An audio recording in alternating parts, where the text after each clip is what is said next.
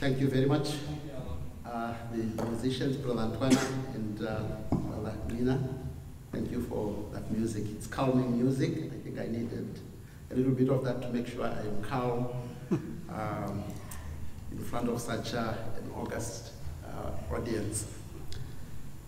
We are talking about the end times. Let's see if I can project.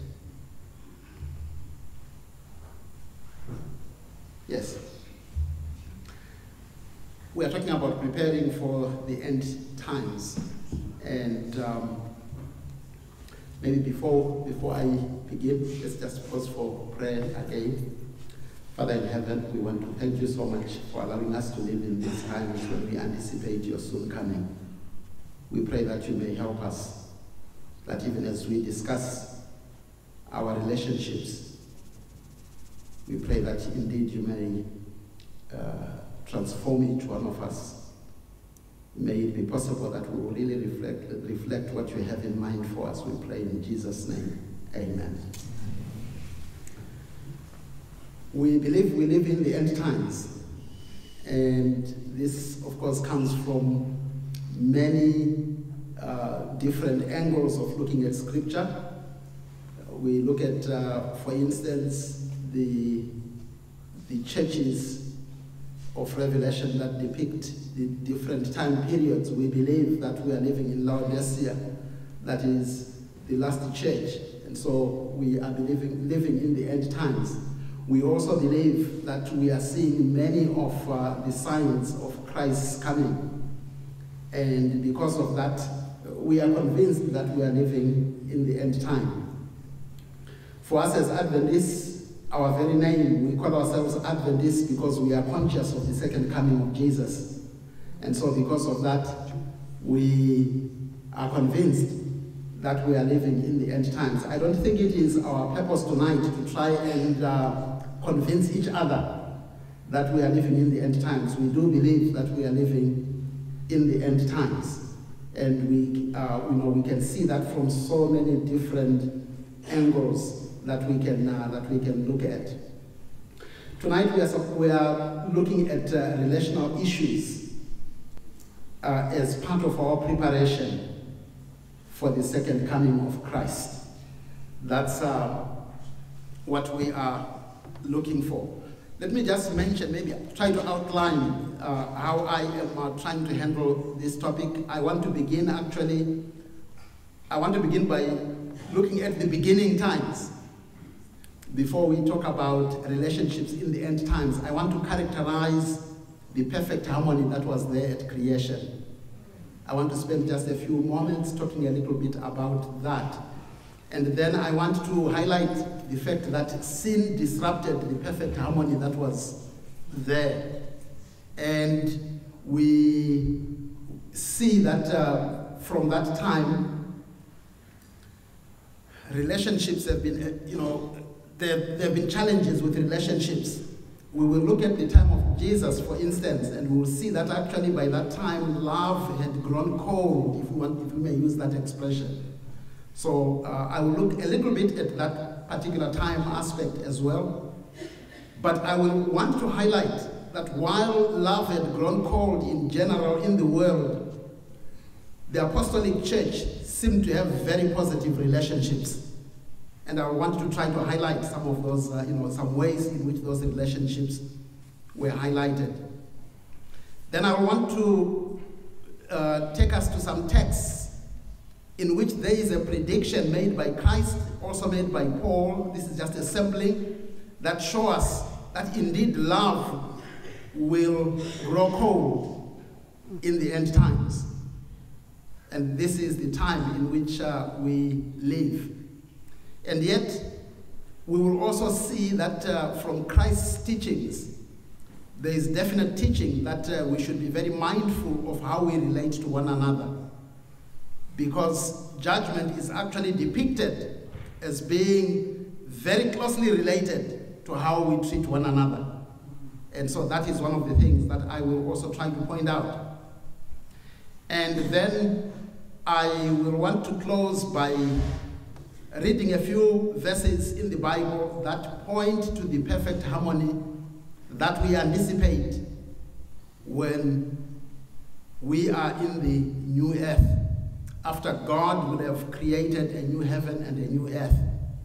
And so, as believers living in the end times, I guess one of the things that I will want to highlight is that uh, our blueprint for relationships is actually the origin, what we had, the harmony, the perfect harmony that we had at the beginning. And it is the same harmony that we anticipate when Christ comes and the earth is recreated. And so, uh, for us as believers living in the end times, our role is to live, to try and, and, and live in that kind of atmosphere, so to speak. That is what I would like. And so let's go to the beginning. Let's go to the beginning. Relationships in Eden. Well, what we do find is that in Eden there were perfect relationships that were depicted. Um, you know, when, when, creation is, is described. I'm not going to read all the texts that pertain to that, but I simply want to go to Genesis chapter 1, verse 31 which kind of um, you know summarizes God's view of uh, the creation that He had made. In fact, every day of creation, we, are, we, we have that uh, evaluative statement where uh, God, you know, we are told by the writer that God looked at what He had created and He saw it was very good. And I take it that uh, when God assessed things and He called them very good, there was no disharmony, there was no conflict. I think it was not just good in terms of uh, aesthetics, in terms of uh, how things looked, but it is the order of things that was actually very good. Genesis 1 verse 31 says, God saw all that he had made, behold, it was very good. I believe that this characterized even the issue of uh, relationships as well, the harmony that was there. Genesis chapter 3 verse 8 suggests that uh, God seemed to have been visiting Adam and Eve in the coolness of the evening uh, of the day. That is, towards the end of the day, God used to visit them. And they appeared to be very comfortable with him. It was a healthy relationship that was there. Now, unfortunately, of course, we are told about this when uh, you know the description is actually about what happened after sin came into the world, because God came, I presume, as usual. But sin had come into the world and things were no longer usual. Adam and Eve chose to run away.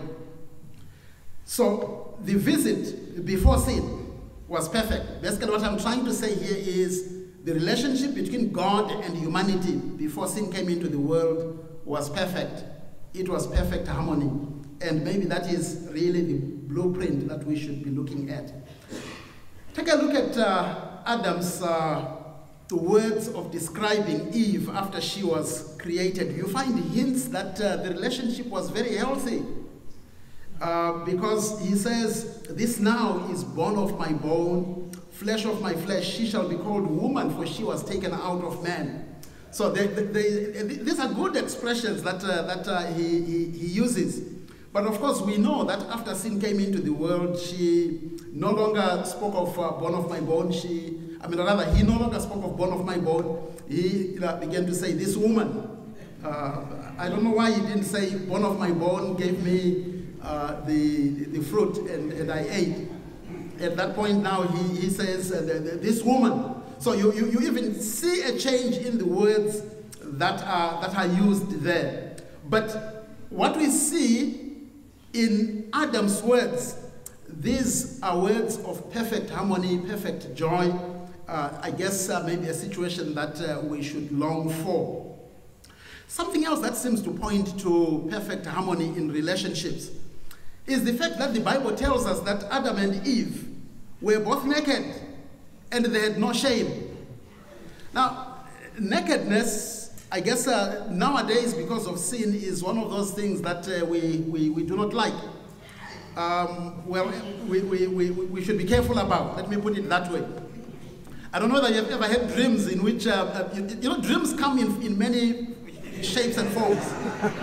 but sometimes you, you, you, can, you, you can dream. I don't know whether this means anything, whether, it, you know, there are no psychologists who will begin to assess, uh, you know. But, but have you ever had a dream in which uh, you are walking in the mall and, remember it's a dream, eh? And you're walking in the mall and then suddenly you look and you find you are naked. That's not a pleasant dream. It's not a pleasant dream. Nowadays, nakedness is something that we are not comfortable with, at least in most settings. Maybe when we are alone, yeah, we might be comfortable with nakedness, or maybe, uh, maybe just that spouse. That's the way it should be. Uh, let me not even entertain, you know, somebody who is not a spouse, uh, you know, or maybe if, if, if this, these are children, but it's very few people who uh, you know, can be naked uh, with one another. You see, before sin came into the world, Adam and Eve were naked with each other, and there was no problem. And I want to suggest that uh, nakedness is perhaps the ultimate version of transparency with one another. There was no shame with that kind of transparency.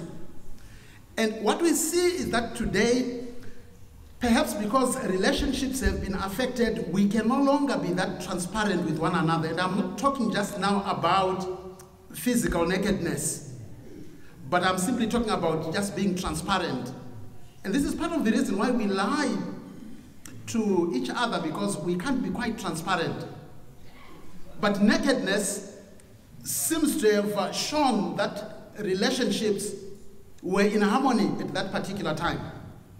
Now, I'm, I'm not suggesting that uh, maybe you try to demonstrate harmony by, uh, by, by uh, you know, becoming naked in, uh, uh, you know, uh, inappropriate places. When you leave your house, I think because of, of see what sin has done, Uh, we, we, we should continue to dress ourselves before we come out of, uh, out of our rooms uh, and we come into, into public.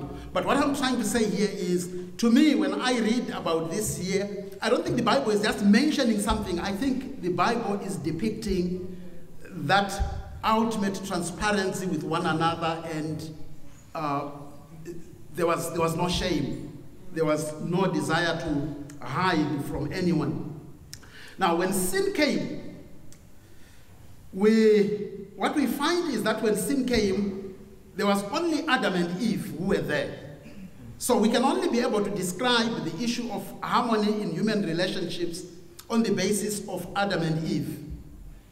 Unfortunately, well, I, I don't know that say unfortunately or whatever, but sin came in very early. And so we don't have a description in the Bible of that perfect relationship between parents and children before sin came into the world. We just don't have it. Because by the time children were born, sin had already come. So unfortunately, we can't have you know, a, a description. We can't even see a story that depicts that. We don't have uh, you know, any depiction of siblings living in a perfect relationship. Because by the time the siblings, the first siblings came into the world, the world was already marred by sin. Extended families, in other words, how uncles and aunts in a perfect world were supposed to relate, we actually don't have that because, you know, it never happened, unfortunately and even in laws and, and all these other kinds of relationships, we can only imagine now what it could have been like to have neighbors living in perfect peace and maybe to have in laws living in perfect peace. But of course, it's only an imagination that we can have and maybe a longing because many of these relationships are tainted even the closest ones, they've been tainted. So what we do see then is that uh, sin disrupted these relationships. And with this we find that the relationship between Adam and Eve, well, the two, the, the humanity, let me put it that way, let me not uh, uh, be confusing. The, the relationship between humanity, that is Adam and Eve, and how they related to their creator, that is disrupted. They are now hiding from God. They are now ashamed of being naked, but I think they, they were also ashamed of their sin. They now fear, we, we heard your voice and we were afraid. Fear is now a factor. And uh, defensiveness, did you eat? Uh, well, it's the woman that, uh, that, that you gave me. And you know, the blame is also coming in. And so uh, these things that we experience, we continue to experience them, by the way. These things come because of the disruption that sin has caused. I want to suggest that uh, any kind of relationship that we find that has been marred, that, that, or rather that is, that is difficult for us, it is because those relationships have been marred by sin. If you are having any difficulties in relationships, the root cause of it, the absolute root cause of it, is sin. I'm not saying that the person you are fighting with has sinned or that you have sinned and you are causing it. But I'm simply saying we are living in a world of sin, and because of that, relationships are no longer what they used to be. So, even among the best of people, the holiest of people, you may still find tensions that take place because we are living in an environment that has been marred by sin. That is the point that I'm trying to, uh, to mention here. And so we find that uh, even in, in that first family, murder occurs in the very first generation of Adam's offspring, Adam and Eve's offspring. One of them becomes a murderer, a murderer, and the other becomes a victim of murder. Uh, you know, and, and, that's what sin does, of course. And when we continue reading the Bible, we find that uh, violence, violence characterized humanity just before the flood. You will, here is a text that points to that and see how violence is actually mentioned. And of course, violence speaks to uh, disrupted relationships. The earth was corrupt in God's sight and was full of violence. God saw how corrupt the earth had become. For all the people on the earth had corrupted their ways. So God said to Noah, I'm going to put an end to all people, for the earth is filled with violence.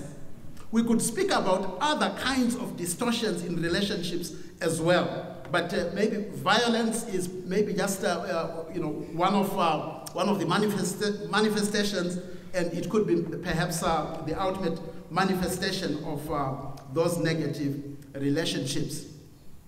However, what we do see is that in God's perspective, relationships are not just an accessory.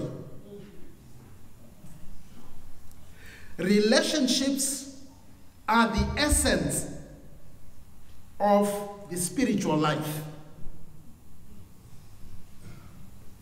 We find that at one time when Jesus was asked by a law, in fact, let's read it. He was asked by an expert in the law, testing him with this question Teacher, which is the greatest commandment in the law? Jesus replied, Love the Lord your God with all your heart and with all your soul and with all your mind. I think you can see here that the requirements that God gives, that Jesus gives, are about loving. That's a relationship. It's not just a doing thing, it is a relationship that is critical, that is at the center of everything. So Christ says, the greatest commandment, love the Lord your God with all your heart and with all your soul and with all your mind. This is the first and greatest commandment. Then Jesus says, the second is like it. Love your neighbor as yourself. I think we can see that this is also relational. This is relational. Then Jesus actually says, the law and the prophets hang on these commandments. The law and the prophets that's just a way of saying the Old Testament, which were the scriptures at that time. I think maybe if the New Testament was there, Christ would have also included that. Because ultimately, God's expectations of us are in relationships, relating to Him and relating to the other people that He has created. That is the essence of the Christian life the essence of the spiritual life. So then Christ characterized the requirements by simply saying, You must love God, you must love your neighbor. And I am saying this is relationship. An interesting thing is that Christ actually seems to suggest that there is no hierarchy between these two commandments. In other words, you can't say, well, let me just do the most important one and get uh, 60%. Let's put it in the, in the form of, uh, of getting marks. Uh, Christ doesn't seem to be saying, well, if you love God, you get 60%, therefore you can pass. But Christ actually says the second one is like the first one, which suggests to me that we should not be making them into a hierarchy. That is to say, well, for me, I will love my God with all my heart, with all my mind, and with all my soul, and then loving others, well, it's optional. I will love them if they are good. Christ actually seems to say they are equally important. There is no hierarchy between the two of them. And so I am not just talking about relating to human beings tonight. I'm talking about the fact that the whole Christian life is about relationships, relating to God, but relating also to people, to human beings. And I guess because in our own setting, it, it seems quite often, quite often it seems to be easier to relate to God because He doesn't mess around with us. But human beings are the difficult ones because we interact with them every day. And so there is a certain, to a certain extent, I may be highlighting a little more on how we relate to one another. But we should remember that actually we cannot relate to one another without relating to God. Neither can we relate to God and yet choose not to relate to one another. Because the Bible says if somebody says, I love God, but does not love, you know, that same person does not love his neighbor, he is a liar. In other words, it's not really possible for someone to love God and yet not love another person. Okay? And we may also say it's not really possible to entirely love another person but not loving God. We may have certain kinds of affection, but the, the true quality of love that God expects from us, it is something which comes when uh, we truly love God, and then He helps to generate it. And so I have uh, this little bit of a graphic that I'm, uh, I, you know, I'm putting there, basically pointing to the fact that the cross of Jesus helps us to see the vertical dimension of love, but also the horizontal one. And that is very well depicted, I guess, by the fact that the cross itself has the vertical beam and also the horizontal beam. That should remind us that if we are truly, uh, you know, believers in the cross of Jesus, then that should make us to relate vertically to God, but also relate horizontally to others. So those who are subject to the cross of Christ will see those two dimensions, that is the, the vertical side as well as the horizontal side.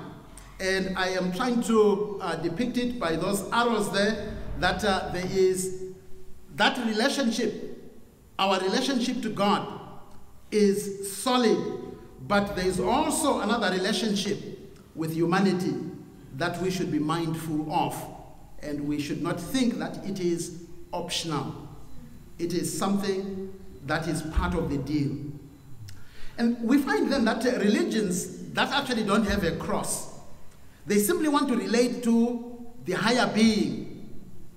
They tend to tremble on other, on other human beings, and this is where you find persecutions and uh, trying to force other people to, to, to relate. And by the way, if you subscribe to a religion that believes in forcing other people, you should ask yourself if there is really a cross in that religion.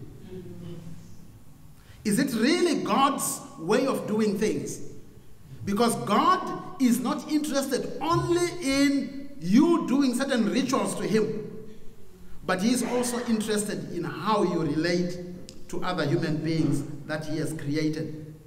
On the other hand, I'm also saying that sometimes we have social movements that don't have anything to do with the cross, but uh, they are philanthropic organizations. They are good. We don't want to say that they are useless. They are good. They do a lot of good.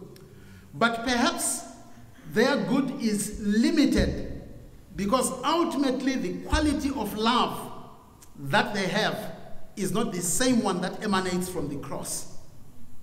It is when that love emanates from the cross that we find that truly holistic element, and we find that uh, when uh, you know when, when, when there is that recognition of the of the higher being and or you know God Himself. Let's let's let's, let's speak of God. When we recognize God.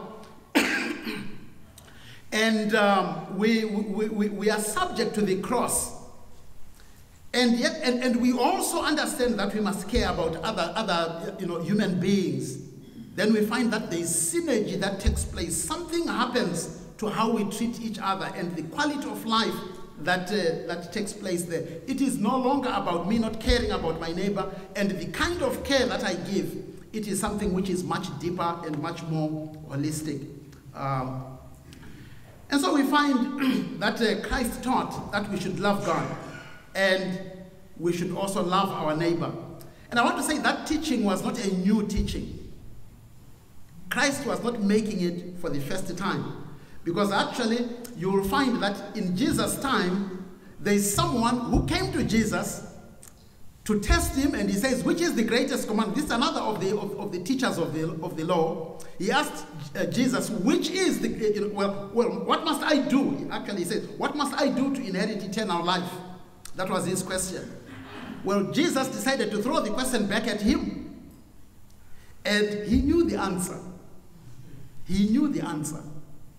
It's an answer that Christ said to somebody else, but this scribe also knew the answer. This is why I'm saying it's not a new teaching. So when he was asked, he was asked, oh, oh, oh, you know, what is written in the law? How do you read? He answered, Love the Lord your God with all your heart, with all your soul, and with all your strength, and with all your might. We saw that. And you must love your neighbor as yourself. So those two elements are there.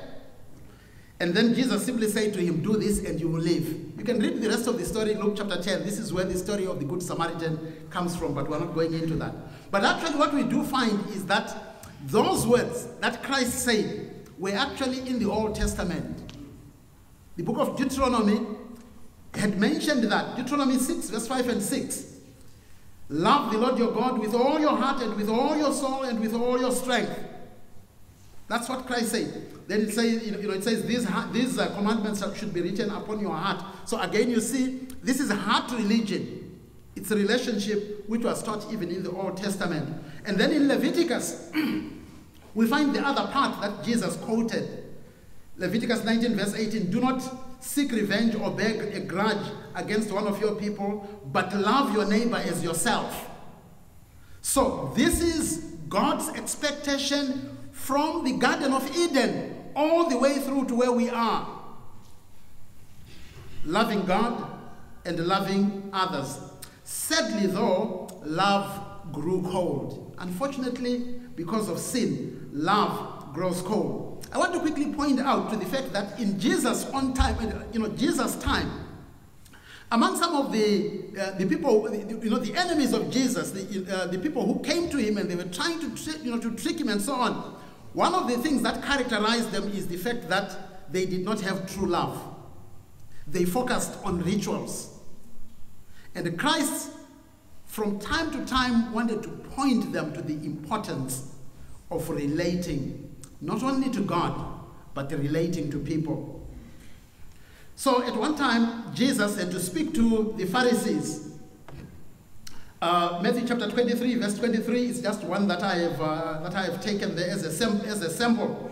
Christ says, Woe to you, teachers of the law and Pharisees, you hypocrites! You give a tenth of your spices, mint, dill, and cumin. These were small little plants that people were tithing. Okay? But Jesus' complaint was, But you have neglected the more important matters of the law, justice now, when you deal with issues of justice, it is how you relate to other people. Are you being just in how you deal with other people? Christ actually says these were the weightier matters of the law. And then he spoke about mercy. And normally you exercise mercy on those who are defenseless.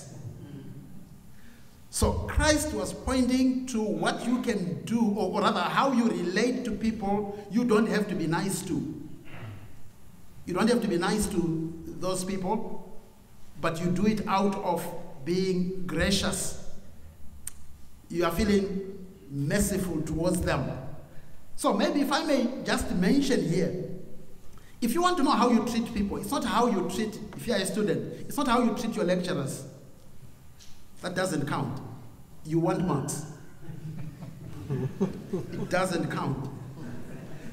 It's not how you relate to your boss at work. Doesn't count. You want a salary, you want to keep the job. It is how you relate to the people who don't have power. That is what really counts. So Christ then challenged these uh, uh, religious leaders because they had forgotten the weightier matters of the law. The religious leaders would often contend with Jesus for healing the sick on Sabbath because they wanted him to keep certain rituals. They believed he had broken the Sabbath by healing, by being kind and doing a kind deed to someone. But uh, actually, the, the surprising thing is because they were so annoyed with him for healing on the Sabbath, they would plan to kill him also on the Sabbath. Ah. Also on the Sabbath, they would plan to kill him. And in fact, when we read about uh, how they conducted, some of the leaders, the priests and the other leaders, how they conducted the, the crucifixion after Christ and the other two people were crucified.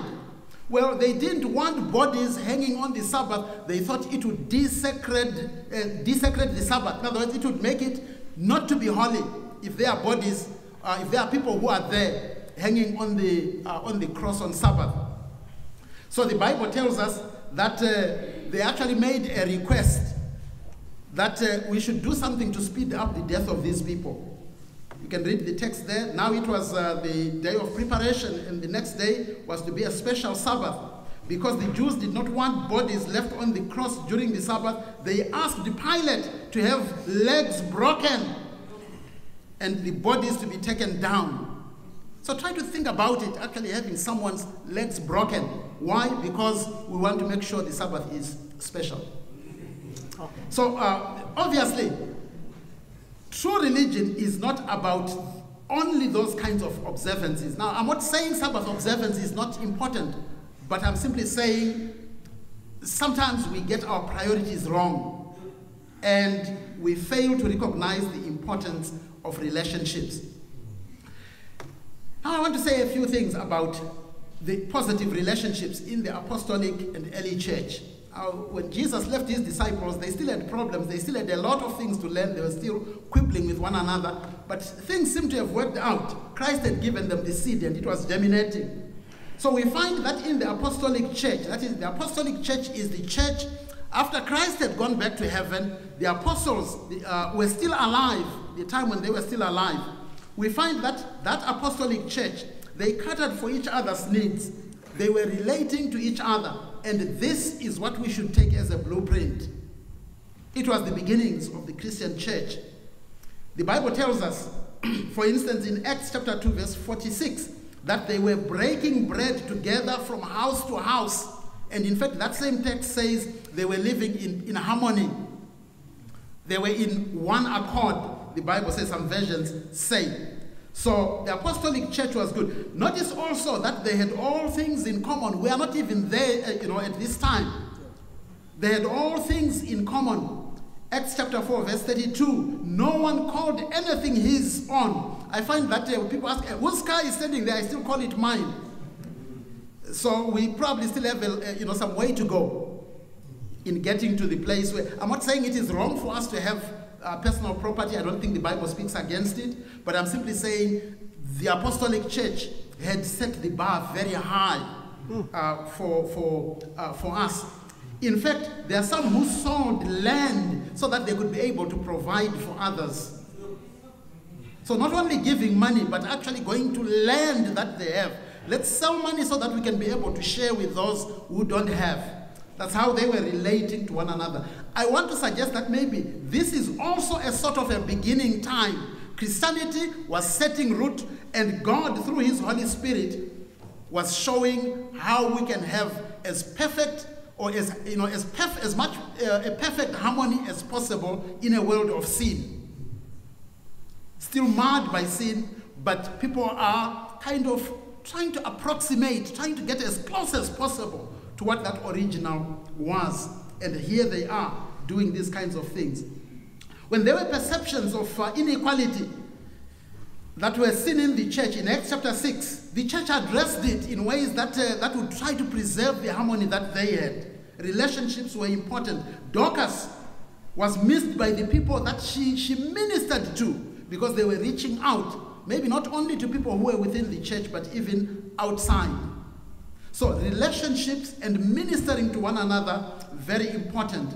When there was a, a, famine, if you read about, you can read about it in Acts chapter 11, verse uh, 28, uh, going down to 30. When there was a famine, the church made collections in various places to help those who were especially struck by that famine. They were relating to one another.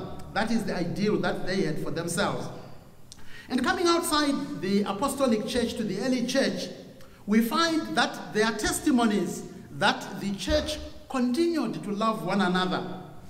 There is uh, one of the church fathers, one of the leaders of the church, I've put in there the approximate years uh, in which he lived. His name is Justin Martyr because uh, he was martyred.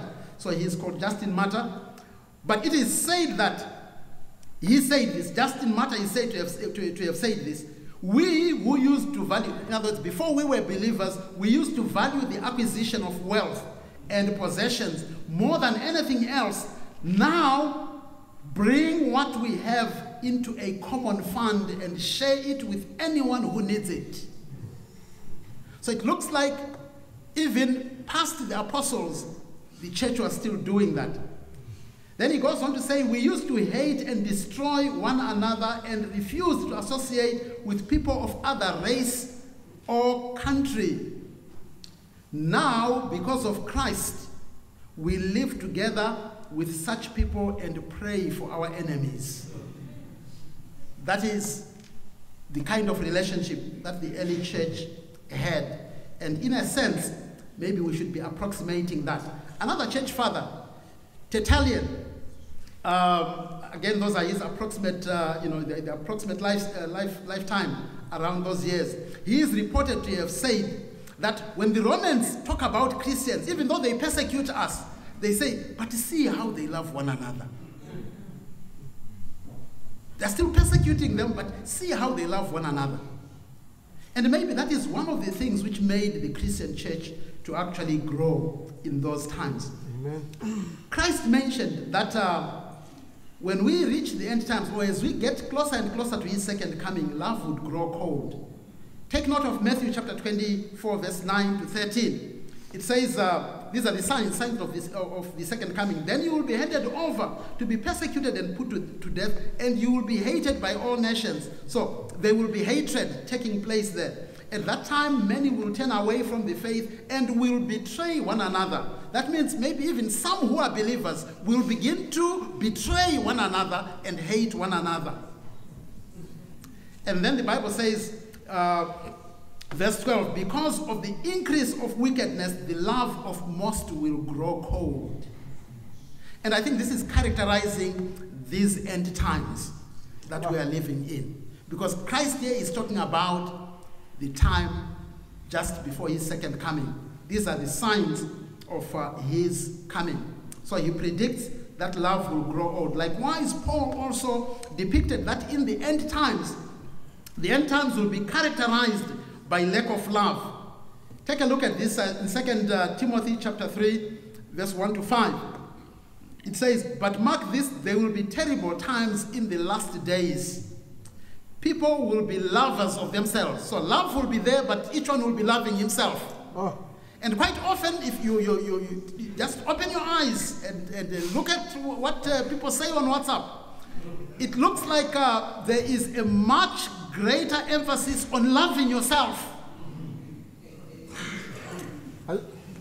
I'm not saying it's, it's, it's, it's wrong to love yourself. Christ says you should love others, you love yourself. So, yes, you should have a healthy love for yourself. But very uh, you, you, know, very often in, you know, in uh, today's society, you find that there seems to be an overemphasis in loving self and in beginning with self. Take care of yourself. And that's not wrong, but uh, there should also be an equal emphasis on loving others and taking care of others. Uh, people will love themselves and they will be lovers of money. They will be boastful. Take a look. Many of the things I'm reading here, they relate to, to how we, uh, you know, uh, they're about how we relate to one another or how we treat one another. Boastful. You can't be boastful when you're just by yourself. They'll be proud, abusive, disobedient to their parents. That also pertains to relationships. Ungrateful, unholy, without love, unforgiving. that relates to treatment, how we relate to one another. Slanderous, without self control, brutal, not lovers of good, treacherous, rash, conceited, lovers of pleasures rather than love of, uh, lovers of God. So maybe even the love for God also is diminished, having a form of godliness but denying its power, have nothing to do with them. So many of the vices that we saw there, they have something to do with, uh, with uh, you know, relating to other people. However, I mentioned here that uh, it's not as if it will be totally new only in the end times. We have this text here, I'm not going to read it, in Romans chapter 1, verse 29, where we, Paul actually said in those times, some of those same things were also there as well. So I'm not suggesting that, uh, you, you, know, they were in a perfect world, those things were there. But it would appear that what Christ and Paul are saying is that in the end times, there will be an intensification of those negative behaviors, things that affect human relationships. But while we have that intensification of uh, those vices, we also see that there is a prediction, there is a recognition that among believers, love will be the insignia. It will be the mark of those who are Christ's disciples. By this, all men will know that you are my disciples if you love one another. This has not stopped to be uh, you know, a principle we should live by. It is still true for us today. In fact, what we do find is that in the end times, there is a prediction that there will be a ministry or the ministry of Elijah. I don't have time to explain what that is, but we believe that as a church, those of us who are living in the last days, we are carrying out the mission of Elijah or the ministry of Elijah. And the role of that includes restoration of relationships. Malachi chapter 4, verse 5 and 6 God says, See, I will send you the prophet Elijah before that great and dreadful day of the Lord comes. Those are the end times. This was partially fulfilled in the time when Christ came for the first time. The Bible tells us so. But it is also true for the end times. Uh, in, in fact, it mentions here before the great and dreadful day of the Lord. And notice the work of Elijah it will be to turn the hearts of the fathers to their children and the hearts of the children to their fathers.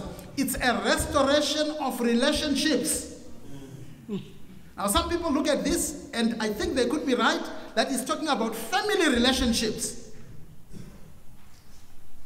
Children and their parents. Somehow there should be a restoration of that love. And of course, this can be broadened to other kinds of relationships as well. But other people look at this and they say, well, maybe it is talking about children as believers being restored to their heavenly father. But that's also another type of, uh, of relationship. And that is consistent with what we have been saying uh, tonight that the Christian life, the life of the believer, it is about that vertical relationship, but also the horizontal relationships, the social relationships that we have. In fact, what we do see is that relationships are so important. Not only did Christ, or rather God predict that there will be a messenger to restore relationships, but in fact, we find that preparedness for the second coming of Jesus, it is somehow related to how people relate to others. It's not just about persecution. Let me read a couple of parables that Jesus told. In Matthew chapter 24, remember Matthew 24 deals with uh, the second coming of Jesus.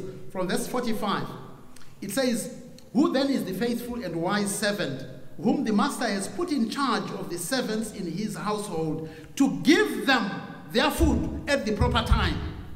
So the faithful servant gives the other fellow servants their food at the right time. Then it says, It will be good for that servant whose master finds him doing so when he returns. I tell you the truth, he will put him in charge of his possessions. But suppose that servant is wicked and says to himself, My master is staying away a long time. And then he begins to beat his fellow servants.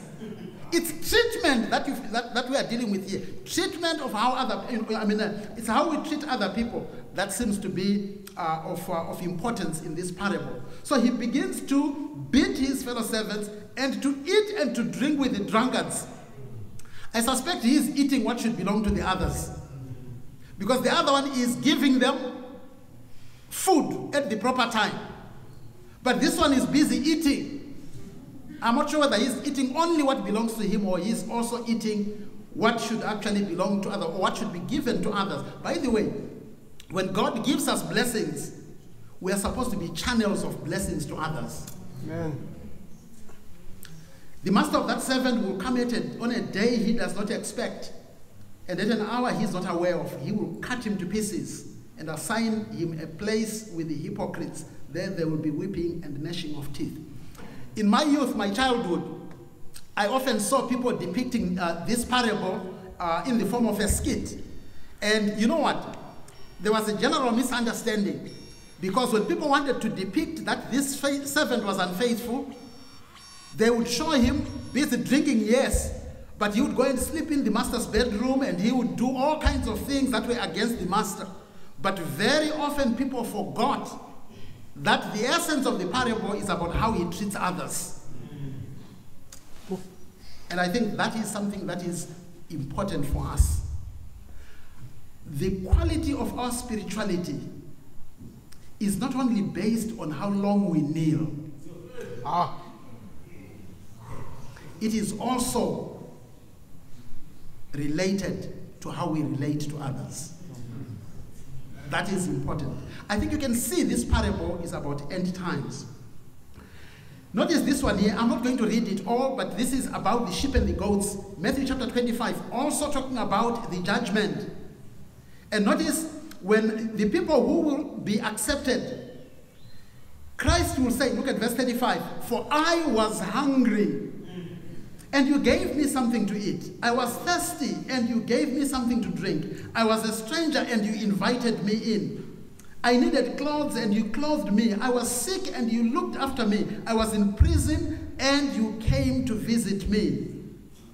And then uh, we are told here, when they are wondering when they did that, Christ will say, I tell you the truth, whatever you did to one of the least of these brothers of mine, you did to me. Notice again, it is to the least.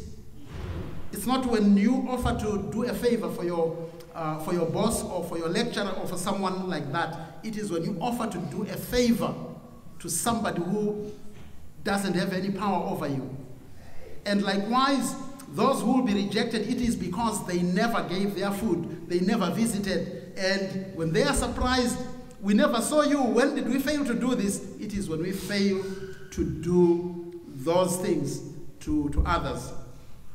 I want to draw to a close by reading a few texts of scripture that point to the perfect harmony that will be uh, after Christ makes this world anew. The Bible teaches, even from Old Testament times, a vision of that perfect harmony after God finally restores the planet Earth to what it was before sin. And uh, we're going to take a look at a, a few texts from Isaiah here.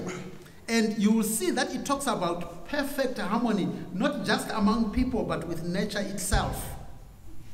This will be the ultimate of the perfect, harmonious life.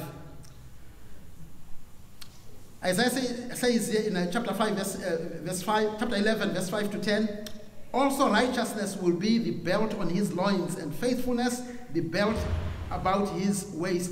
And the wolf will dwell with the lamb, and the leopard will lie down with the young goat, and the calf and the young lion and the fatling together, and a little boy will lead them. There will be perfect harmony in nature, where a little boy, a toddler, will lead a lion and a leopard and so on. Also, the cow and the bear will graze, their young will lie down together, and the lion will eat straw like the ox. And then it mentions that the, the, the, nesting child will play at the hole of the cobra. The windy child will put his hand on the viper's den. They will not hurt or destroy in, uh, in all my holy mountain. Uh, that's what God says. There are also other passages. I'm just quickly going to a few others so we don't stay here too long. In chapter 2, verse 2 and 4, 2 to 4, in the last days, the mountain of the Lord's temple will be established as chief among the mountains. It will be raised above the hills, and all the nations will stream to it. Many peoples will come and say, Come, let us go to the mountain of the Lord. Uh, so that, and then it says, So that we may walk in his path. So they are coming and they want, they, they are interested in him. And then look at this, it says, he, God, will judge between the nations and settle disputes. In other words, there will be no more disputes among the nations. They will beat their swords into plowshares and their spears into pruning hooks. Nations will not take up a sword against nation, nor will they train for war anymore. Oh. You see, all those machine guns, if we were just to do a, you know, uh, maybe another rereading of it, swords turned into plowshares. Let's just put it in our own language. The machine guns, they will be made into laptops and cell phones. now, words, something which does not hurt, mm. something which has other uses. There will be no need for any of those. I want to suggest, as I come to a close, that we call ourselves the remnant. And I think rightly so. What is the remnant? The remnant, or a remnant, is, we usually speak of it in terms of uh, fabric or even a carpet. When they sell carpets, they cut you off the piece that you need and you lay it in your house. And of course, you use it. And as you use it, of course, um, it gets worn out. It's because it's, it's, uh, you know, it has been sold. But the remnant is what actually, it's what remains, what, what remains unused. That is, the, that is the remnant. So try to imagine maybe you bought a carpet, maybe 20 years ago or 30 years ago, and you put it in your house, and uh, you used the house, and it looks kind of like that. Uh, not, not very nice. But you happen to go back to that shop and let us assume that they have a remnant that remained that they never sold. And it still looks pristine like that.